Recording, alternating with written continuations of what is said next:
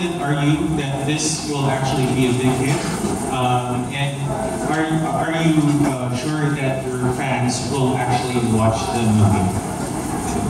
I'm 100% sure, certain the fans will watch the movie. But um, at first, to be honest, I was scared sa film na to kasi yeah, it was an experiment though. Yes. a lot of the scenes were improvised.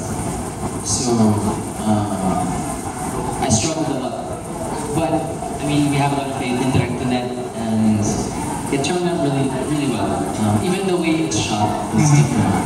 Pero hindi. How was the shoot, overall shoot in London? Uh, was it like a guerrilla type thing that you And in, in London,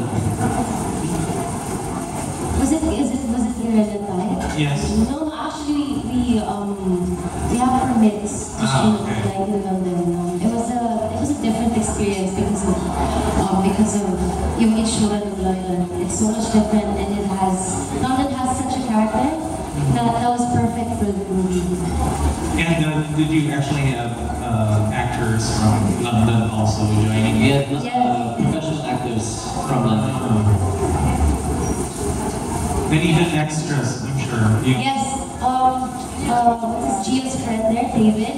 Um, he flew in here to shoot um, a couple of scenes. Ah, Yeah, parang I think the second to the last day he flew in. okay. And did he already leave? Uh, Sorry. that guy, uh, did he already leave? Yes, Yeah. but not after his short vacation in Boracay. And was it actually harder to actually work in London rather than shoot the scenes here? It's definitely harder. Kasi skeleton team na lang po siya. eh. It's not the usual na like set up and all, like kompleto yung crew. Um, yun dun po talaga sa London, kukunti lang kami. And then, um, um, what do you call this? Um, yung yung trabaho ng isang tao, nagiging ko na hindi lang multitask na lahat. Hindi naman kayo, nagbuhat na rin ba kayo? Sorry po? Nagbuhat din ba kayo? Hindi naman po, hindi naman po nagbuhat. But then, um, yun po talaga yung pinaka-difference. Mas malaki lang yung pagkatito. Were you, were, were there like a lot of people who actually pinagkaguluhan ba kayo sa London?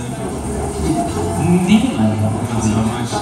But we had fans visit. There were Filipinos, yes. There were definitely there were Filipinos. But then I guess because um, they're not really like, you know, in, yung pag may nakita silang parang promotion or mission, like, you know, like, so they're, you know, like that.